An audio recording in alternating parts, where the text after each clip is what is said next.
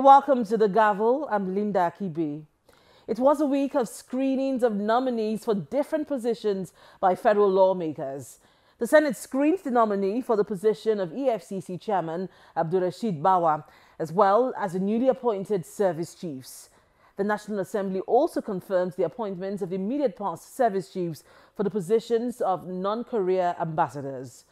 There has been criticism of President Buhari's appointment of the former service chiefs as non-career ambassadors and two petitions were sent to the Senate Committee on Foreign Affairs which screened them.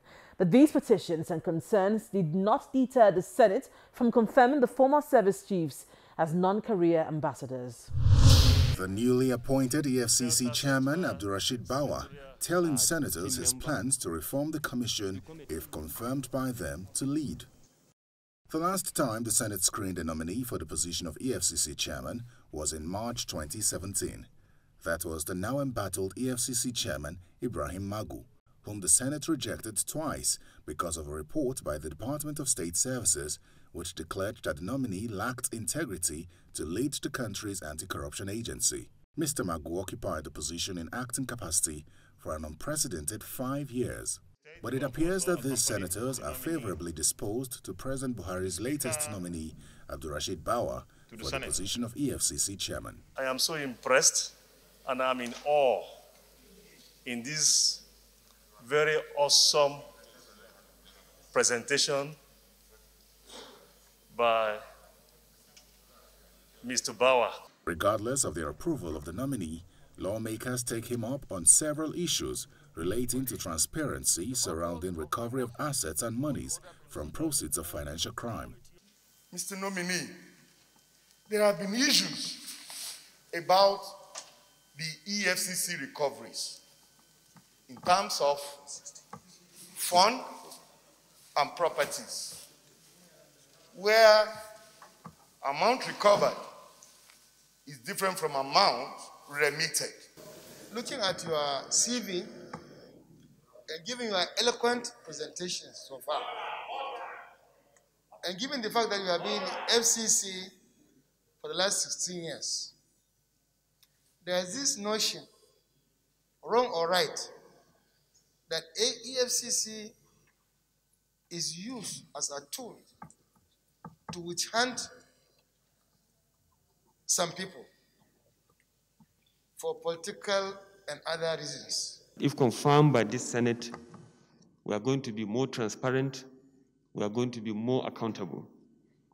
We have, of course, the lingering problem or issues bordering on management of assets, etc., etc. We are going to embrace technology to enable us keep our records properly so that as at when due, Nigerians are action question is just a matter of pressing a button. The way we operate in the EFCC, distinguished senators, is that at the end of every investigation, files are being sent to legal department to vet and see whether or not the investigation warrants any prosecution in court, whether the report has adduced in it points to prove an offense beyond reasonable doubt.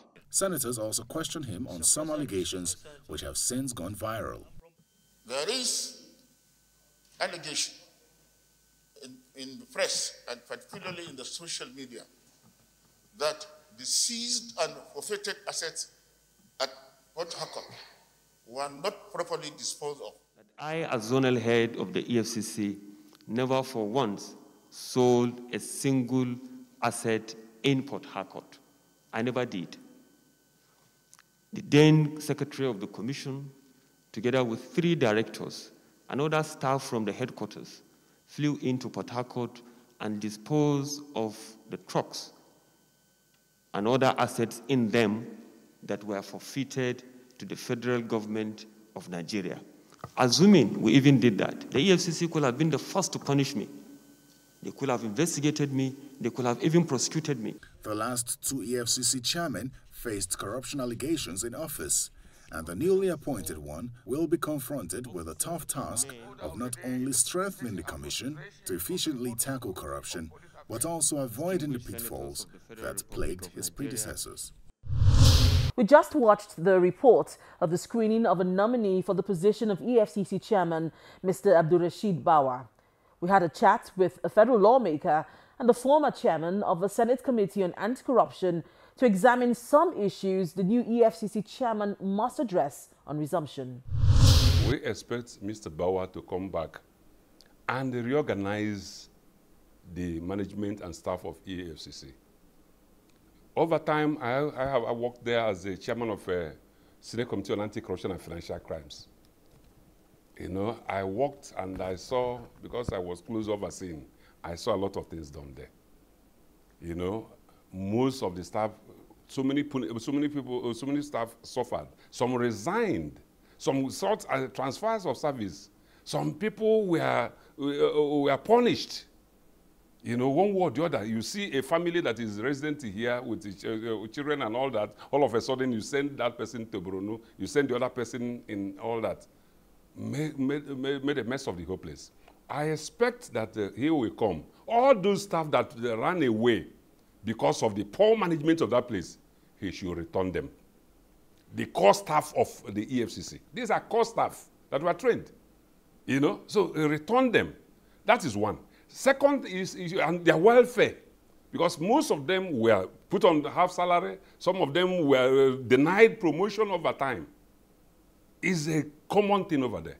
So we want him to come back and humanize EFCC. Make sure that you have good welfare package for these people that are doing so much, you know, exposing themselves to uh, harm, or uh, harm doing their job. So want him to do that. The other, issue is he wants him to reposition this, and then the headship of this establishment of uh, EFCC and all their branches. You bring the core staff that have gone through these trainings and put them in places. What you have is that you have more core EFCC uh, staff uh, will be there. You bring a police officer and post him there. So, and, and the police heads these people, whether the people that are there are uh, more educated or uh, uh, uh, older in service and all that. It doesn't matter. Once you bring a police officer, the person is in charge of that place. He has to make sure that these round pegs are put in the round holes. He makes sure that all those people that are put in places, these people have their wings. This is a, a time for them to test their wings, whether they can fly.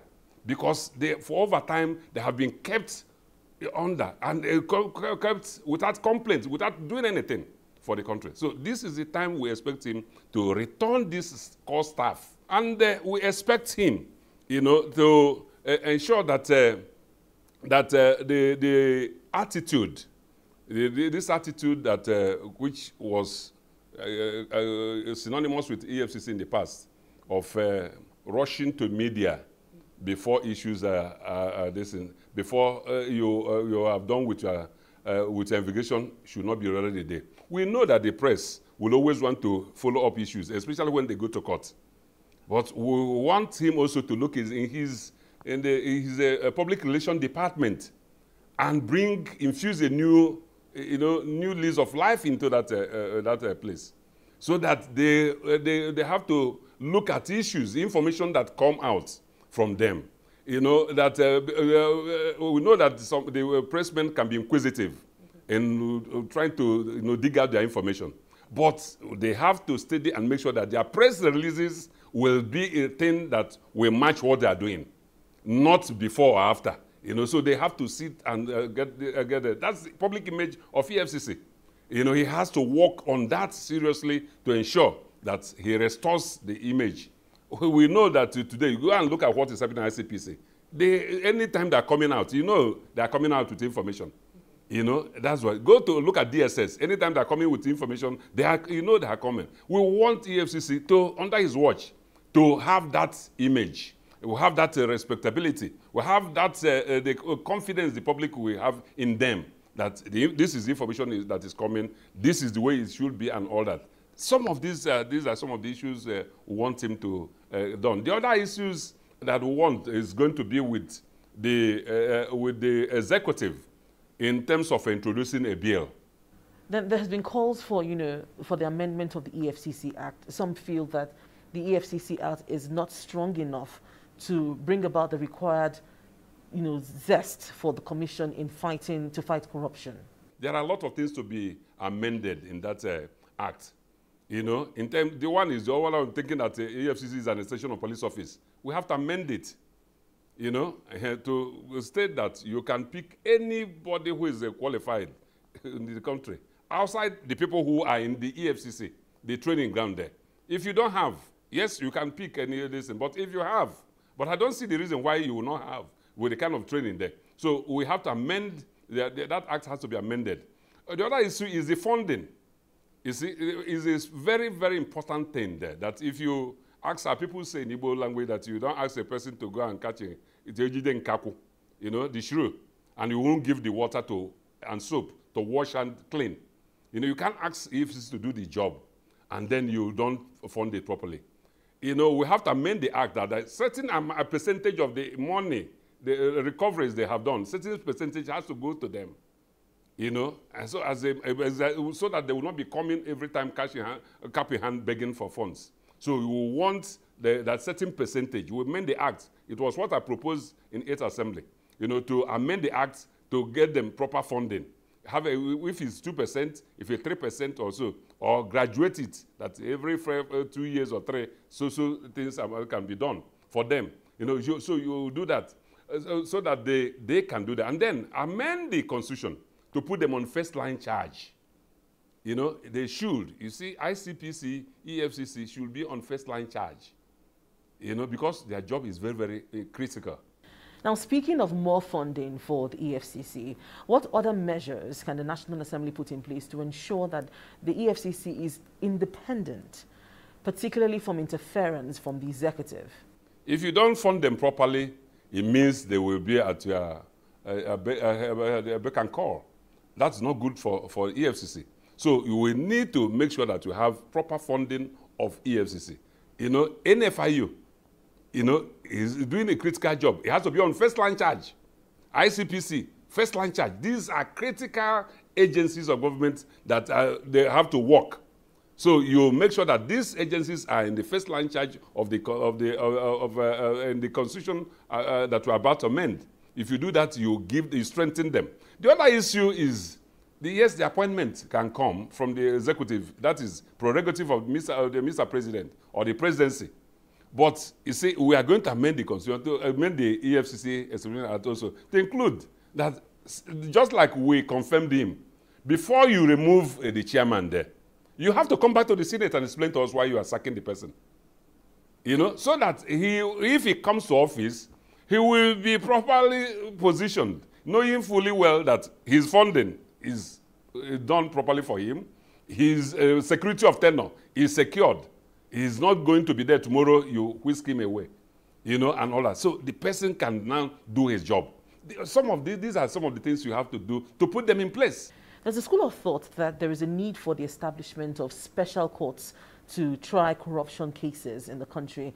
Do you think that this is a good measure to address corruption in Nigeria? Would you be backing this this um, this call for special courts? This is a special courts uh, issue. Uh, many people have been uh, talking about it. I feel that we can have a special we can have a special track, not specifically just going out there to uh, start uh, enacting an act of the National Assembly to do that. The, was, what happened in the uh, past was that the EFCC, under the, uh, the former man who was there, was not ready to work with the Attorney General's office in the first place. and even the act, the Establishment Act of EFCC, has said that Attorney General of the Federation, he has over supervisory uh, powers over it.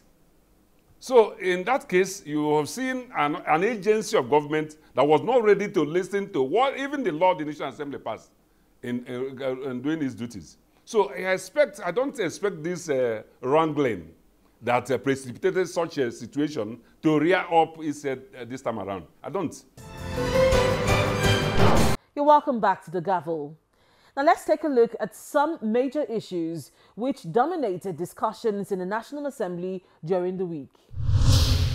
The chairman of the Foreign Affairs Committee presented the report on the screening of the former service chiefs to lawmakers during plenary session on Tuesday, February 23rd.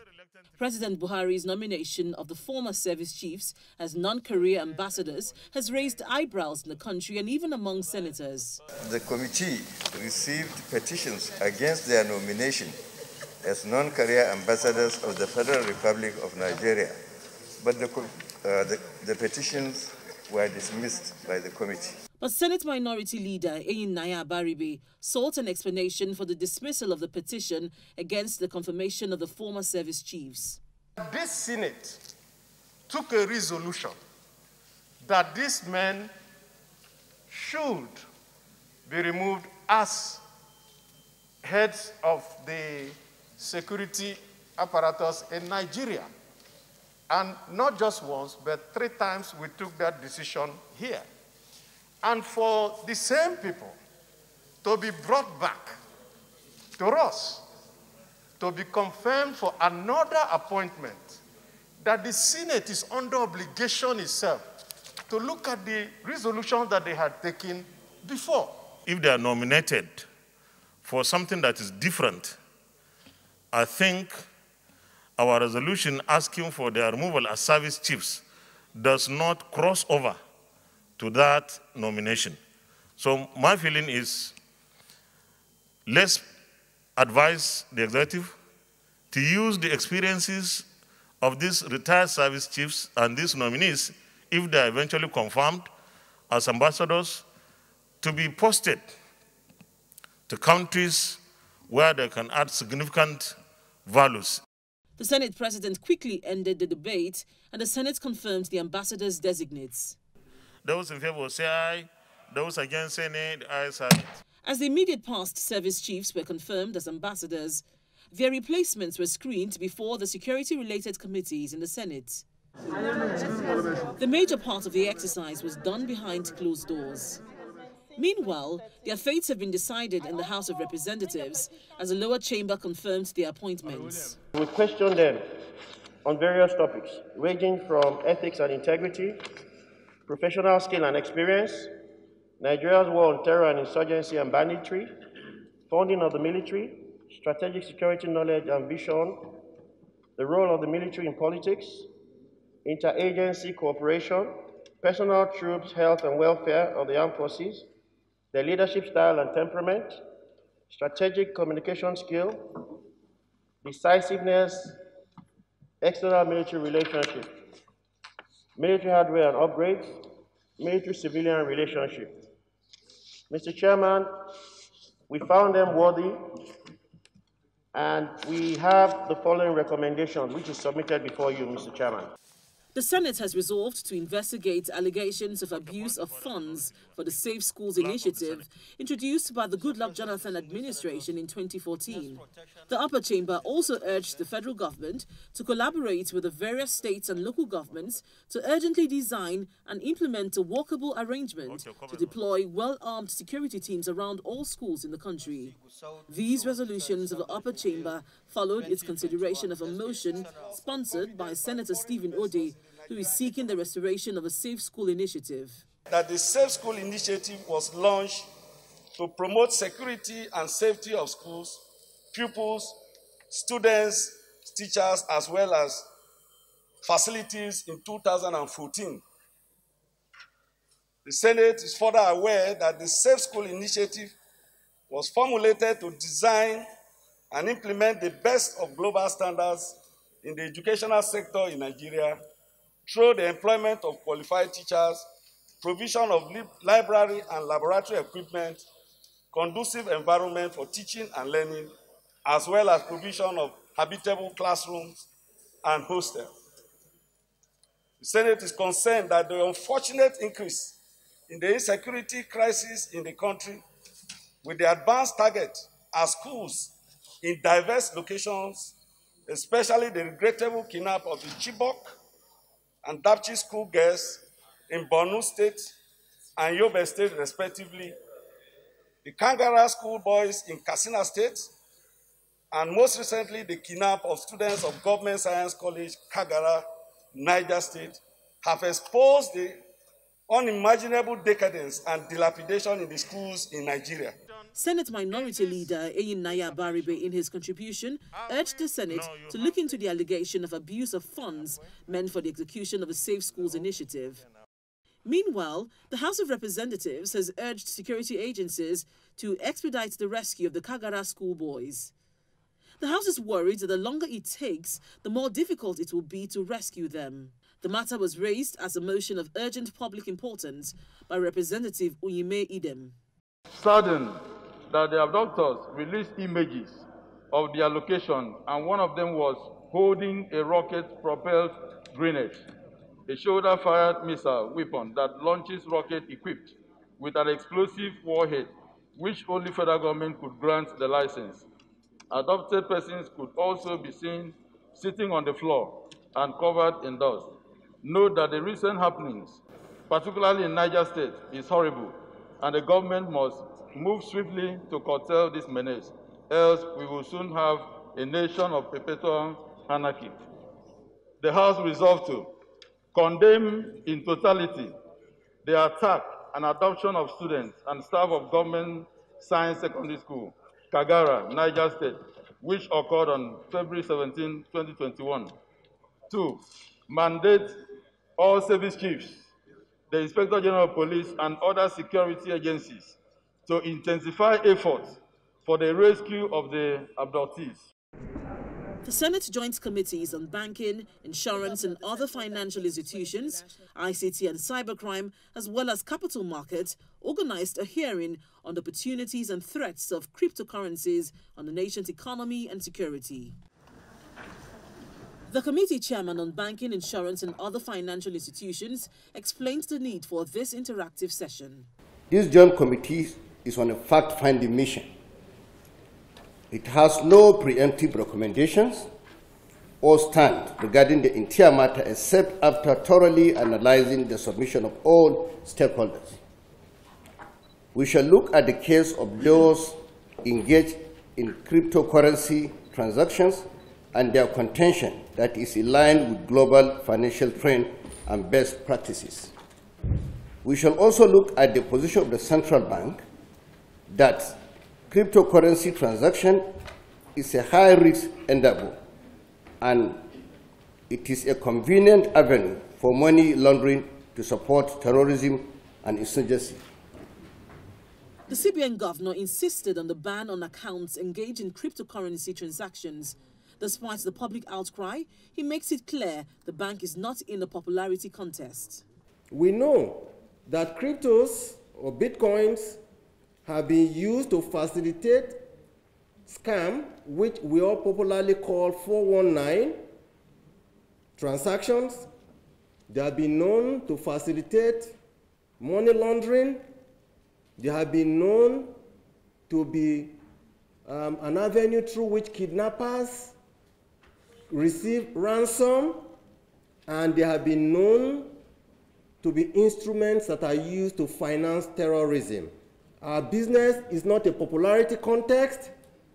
Our business is to protect the uninformed and ensure that those who seek protection in a regulated environment receive those, those protection. Regulators, law enforcement and intelligence units of the country who were also present at the hearing hailed the decision of the central bank as a step towards securing Nigeria's financial institutions and fighting cybercrimes. In 2018, a number of um, globally rated institutions were hacked and taken over by some rascals. And they all demanded payment in cryptocurrencies until uh, those websites would be released. They use it to sponsor violence in Nigeria. So if you like, call it terrorism. If you like, call it kidnapping. If you like, call it whatever it is. We, we never did complete crime analysis and concluded it without picking a crypto account. Now, this is where we call it a day on this week's edition of The Gavel. If you have any views on any of the issues discussed, please email us on thegavel at channelstv.com. Thank you for staying with us and see you again next week.